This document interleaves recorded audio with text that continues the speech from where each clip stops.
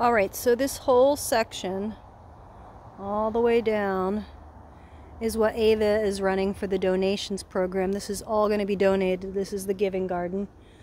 And we've got some beautiful lettuces. So all this stuff has been being paid more attention to than our plots.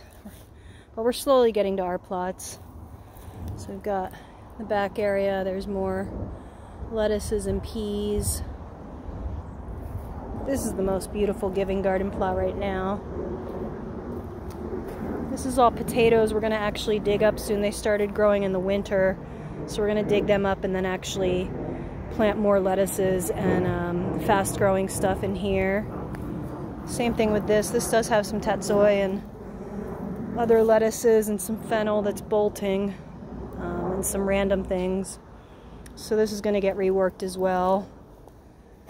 Uh, this one has tomatoes, sunflowers, um, and honestly I'm not sure what else because this is kind of Ava's deal.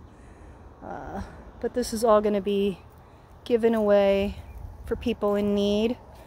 And then we got more tomatoes and uh, zucchini. Um, some stuff that's bolting, it needs to get removed. Some more tomatoes.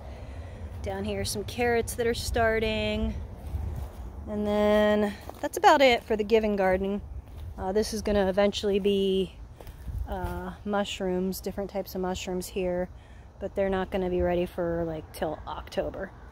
Anyway, yeah, that's the giving garden. It's a beautiful day at Picardo. I love you all.